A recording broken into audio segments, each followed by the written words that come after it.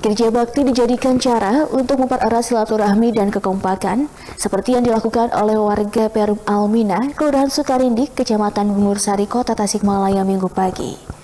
Tak sekedar bersih-bersih, kegiatan rutin bulanan tersebut sekaligus untuk mewujudkan lingkungan yang bertata, bersih, dan sehat.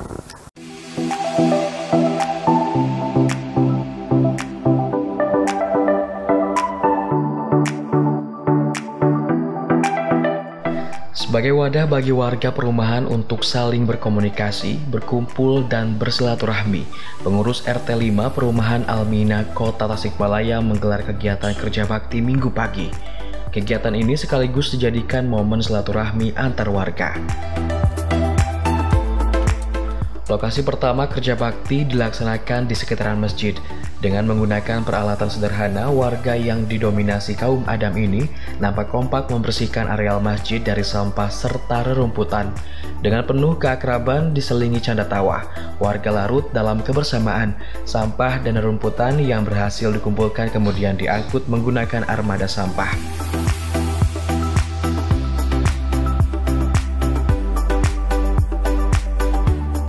Selesai melaksanakan bebersih di areal masjid, warga kemudian bergeser membersihkan jalur utama menuju perumahan.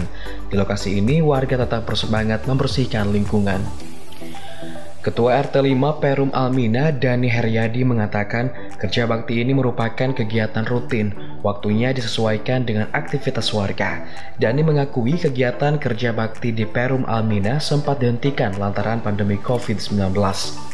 Dani menambahkan bagi warga Perum, kerja bakti tak sekedar bersih-bersih, namun menjadi wadah untuk bersosialisasi. Dengan kerja bakti, sesama warga bisa saling berkomunikasi dan silaturahmi. Kegiatan hari ini terfokus kita untuk mengadakan kegiatan kerja bakti sekitaran Perum Almina, utamanya di halaman masjid yang mana tadi kelihatan situ sudah menumpuk ada, ada sampah ada itu ada uh, rumput-rumput uh, yang tumbuh nah, mulai dibersihkan biar kelihatan asri biar kelihatan uh, segar lingkungannya.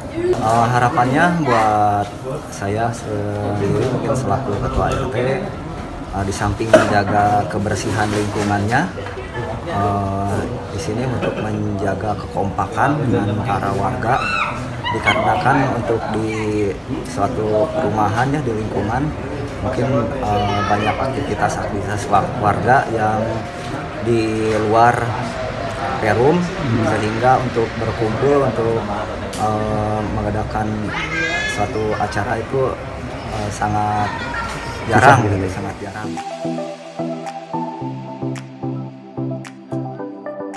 Karakter warga perumahan yang heterogen membuat kegiatan semacam ini menjadi penting sebagai ruang untuk saling mengenal, karena tidak sedikit penghuni perumahan merupakan pendatang dengan segala keberagamannya.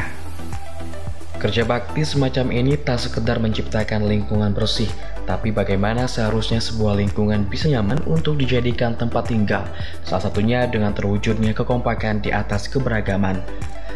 Lebih jauh, kerja bakti yang dilaksanakan warga dari lingkungan terkecil diyakini dapat berdampak terhadap lingkungan yang lebih besar karena tidak secara langsung bersih semacam ini telah mendukung program pemerintah dalam menciptakan lingkungan bersih dan sehat serta meminimalisir masalah lingkungan. Sudah menjadi tradisi, kerja bakti di Perum Almina diakhiri dengan bersantap nasi liwet.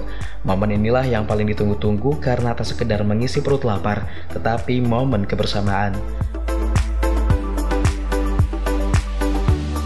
Tim Liputan Radar TV melaporkan.